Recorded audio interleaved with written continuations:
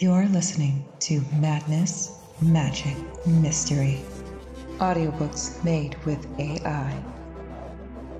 Tale 101 Eat Your Vegetables, Part 2. Detective Kelsey woke with a start, bolting upright in an unfamiliar bedroom. The decor of filled ashtrays, stacked books, and magazine piles were replaced by doilies, ceramic dogs, and quilts. Upon hearing a noise at his left, Kelsey snatched the handgun stashed beneath his pillow and pointed it at the unknown assailant. Rather than find a criminal, his partner Henry stirred from his sleep in the twin bed against the opposite wall. Henry? asked Kelsey while lowering his gun and rubbing his face. I almost shot you, kid. Oh, glad you didn't, yawned Henry, who sat up in his own bed dressed in his underclothes. Looking this way and that, Henry frowned and gained the first of many wrinkles on his brow. How did we get here? he asked. Kelsey reached for the journal on the nightstand and flipped through his notes.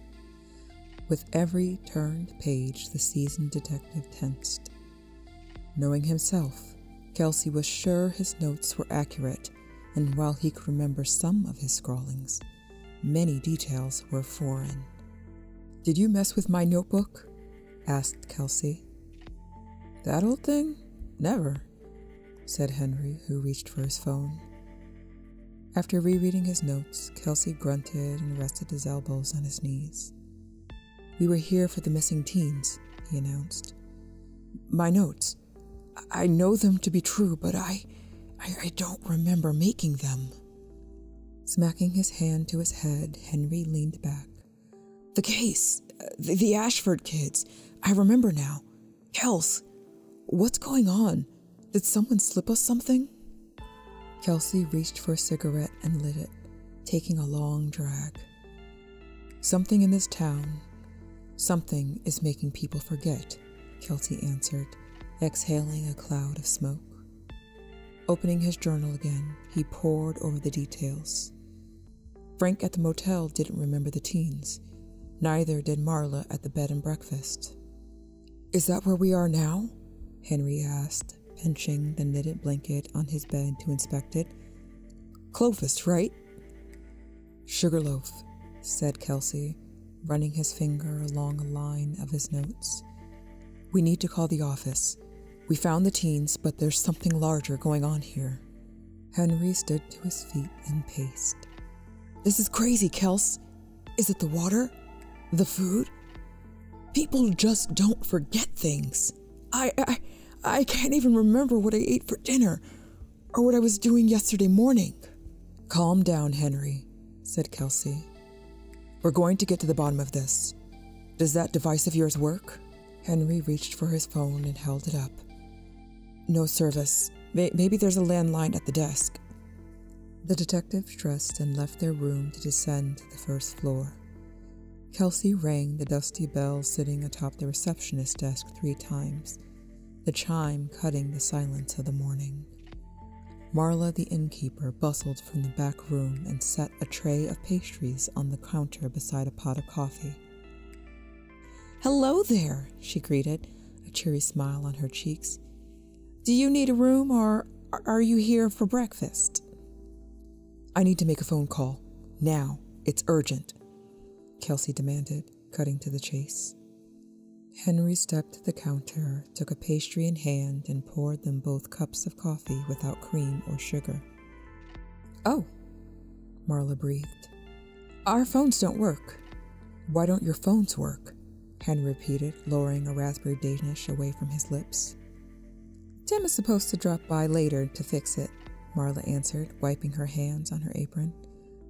Please, feel free to take a seat wherever you find one she said, gesturing to the empty dining area that was next to the lobby. How long has it been out of service? asked Henry. Only a day or so, said Marla. Is there a payphone somewhere? Kelsey asked while reaching for a Blackberry Danish. I can't remember, Marla explained with a shake of her head. Haven't had my first cup of coffee, I suppose, she added with a nervous chuckle. A photo framed on the counter caught Kelsey's attention. Taking it in hand, he recognized Marla, who posed closely to an unknown man. This here your husband? he asked, showing her the photo. Daryl? Why, yes. We've been married for ten years, she explained. Where is he now? Henry asked between bites of his breakfast, licking the jam from his fingers. Well, he's down by the mill these days, she said, setting out a box of tea and honey. Kelsey wrote in his journal, taking note of Marla's words. Thank you, ma'am, he said, taking his own coffee in hand along with a blackberry Danish. You're welcome, boys. Holler if you need anything, Marla said before disappearing into the kitchen once more. The detectives took a seat at a table in the corner beside the window. Kelsey flipped through his notebook and made notes of his notes and then more notes on top of that. Henry raised his cell phone to the air, swiveling his arm like an antenna. Still nothing, he sighed. Kelsey ignored the failed technology.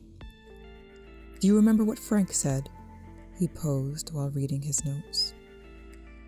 Who's Frank? Henry asked, scratching his head. Wincing at Henry's lapse in memory, Kelsey powered forward to explain his findings. Frank was the worker at the motel. He said his boss Bill was down by the mill too, just like Marla's husband Daryl. You'd know better than me, said Henry, who rubbed his fingers together, bridging and unbridging them repeatedly. I can't think of a reason why these men would be down at a mill, said Kelsey. I can't think at all, said Henry. Reaching across the table, Kelsey squeezed the shoulder of his assistant. Stay with me, Henry. We're going to get to the bottom of this and get out. Henry's gaze remained fixed on the mug of coffee in his hands. For both our sakes, I hope you're right. After writing down the directions to the mill from Marla, Kelsey and Henry left the bed and breakfast, stepping out into a warm, sunny day. A little girl stood at the foot of the stairs, her expressionless face framed by uncombed hair. The child smelled of sweat and garbage, her jeans and t shirt riddled with tears and holes. Kelsey reached for his notebook. Henry knelt to speak with the child. Are you lost? asked Henry, who looked up and down the sidewalk. Where are your parents? The girl looked at Henry, her face the image of innocence. You're not ready for the mill. Why don't you take a walk in the park instead? It's a really nice day. Henry smiled, nodded, and looked up to Kelsey. What do you think, boss? She has a point. It's a nice day, and it wouldn't hurt to get some fresh air. Kelsey almost agreed, but decided to check his notes out of habit. No, he declared, his voice dropping. No, we were going to that mill to investigate. What mill? Henry asked as he stood, rubbing the back of his neck. Son, you're just going to have to trust me on this one, Kelsey said, fixing his hat atop his head. I can't explain. He's not ready for you, argued the girl, her voice rising in volume, drawing the attention of the townspeople. Henry, get in the car, Kelsey said, taking note of the reddening faces of the townspeople as they turned one by one to face the detectives. Alarmed by their surroundings, Henry dashed to the driver's side and swung the car door open.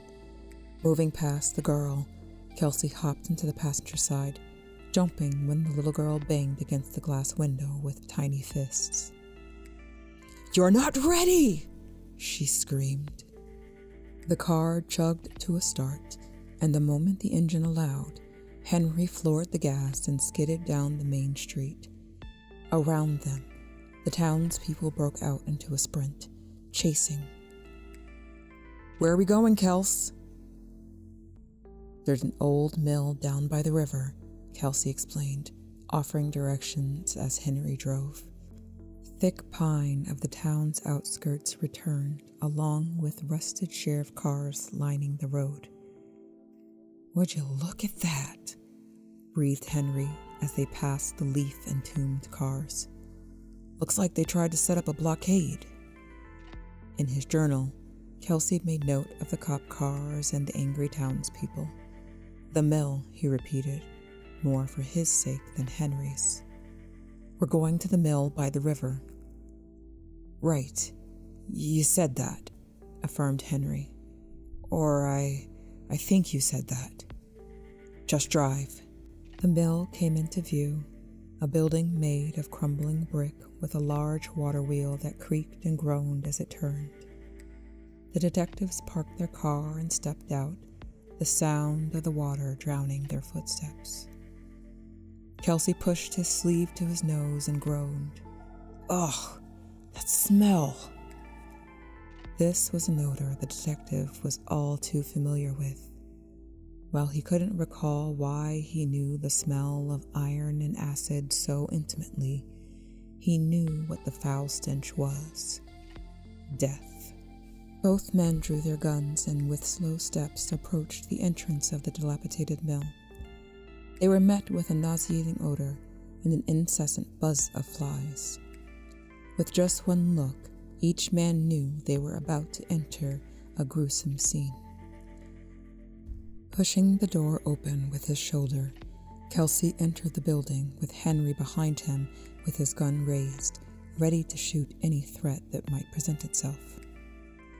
Rather than a threat, the detectives discovered people standing in a line as if purchasing groceries or waiting to speak with a teller.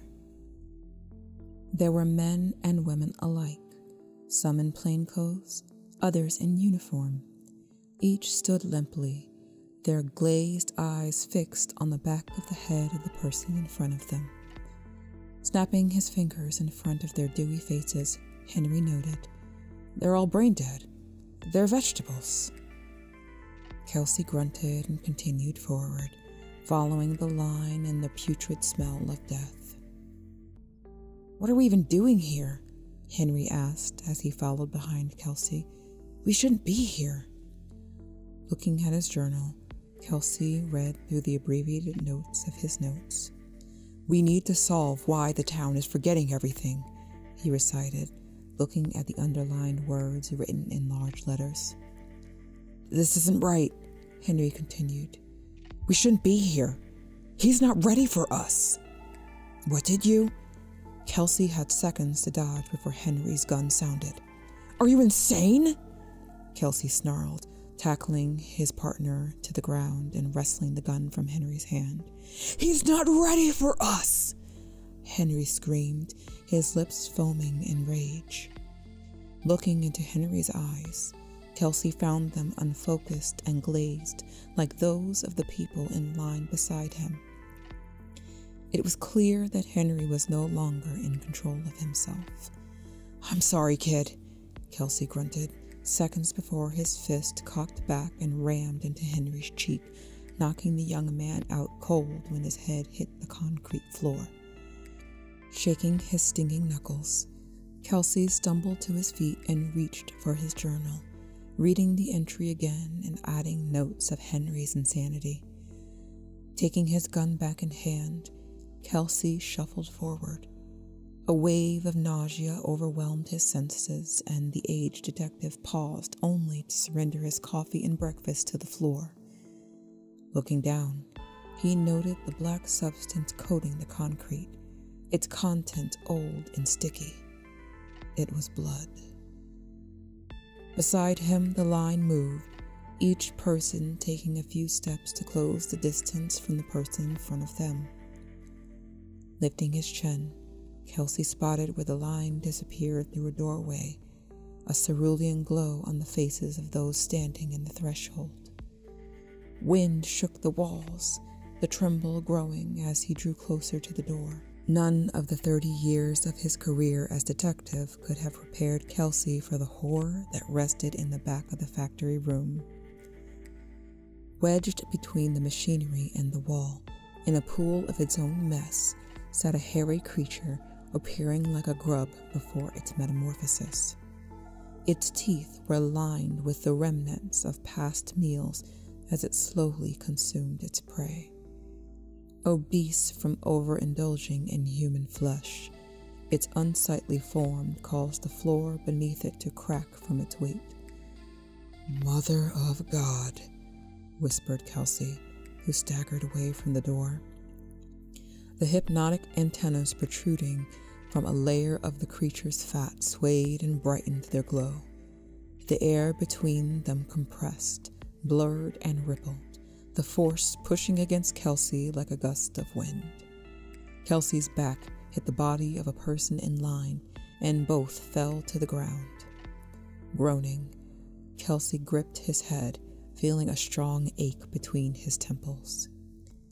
Standing, Kelsey took in his surroundings, but couldn't fathom how or why he got there. Reaching for his journal, he read his notes and remembered.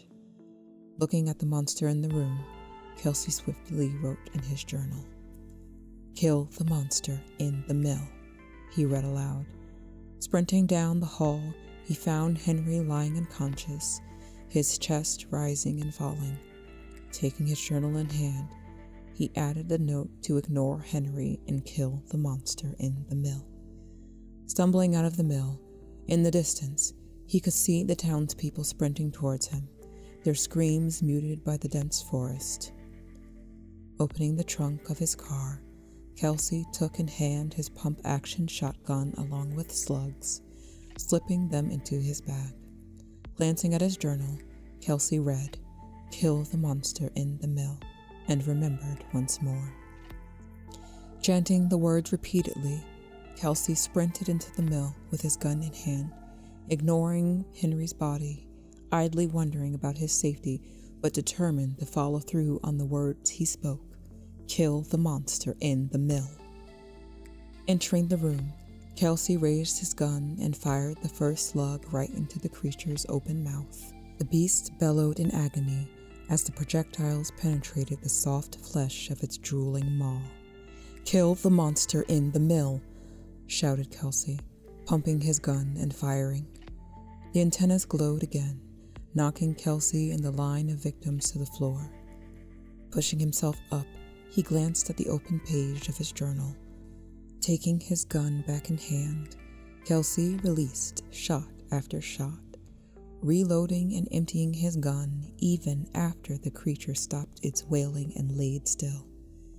With his ammo depleted, Kelsey panted, choking on the stench of the creature and the death that surrounded it. It was then he remembered Henry, laying in the hall. Leaving the creature, he returned to his partner, finding the young man sitting up, rubbing his bruised cheek. What happened? asked Henry, his attention straying to the line of townspeople who murmured amongst themselves, their once vacant eyes now filled with confusion and fear. Henry's own eyes were no longer cloudy and returned to their normal mossy hue. Wait, I remember, he continued, looking up at his superior. You punched me. Hard. Come on, kid, grunted Kelsey, helping his partner up, pulling Henry's arm over his shoulders. Leaning against one another, the two shambled from the mill to find a sea of people shuffling around, their hands clutching their foreheads as they tried to orient themselves, their faces a mix of relief and awe. Kelsey could sense they were waiting for some sort of explanation, but he had none to give. He couldn't explain what he'd seen either. All he remembered was that he killed the monster in the mill. Thank you so much for listening to this week's episode. This story was a lot of fun to do. It really stretched me to embrace mystery and especially like monster murder mystery. And it was a lot of fun to kind of work this together and build the suspense and a lot of great learning lessons, both in writing as well as in recording and mastering audio. I'm not an expert by any means, but I'm getting there and I'm learning. Um, if you feel so inclined on your way out, do the podcast things or the YouTube things, I think. Like, subscribe, comment. Those really all would help the channel. Next tale will release uh, the week after next. It's a fun one. It's dealing with the consequences of bad choices with development of medicine and the effects that meds can have. But of course, you know, the bots put their spin on it, so I hope you will take a time to listen to that one too when it comes out. Speaking of the bots, I better go check to see what they're doing in the writing room. That one will come out next week. Thanks for listening again. This is not a bot. Ping you later. Madness, magic, mystery. Audiobooks made with AI.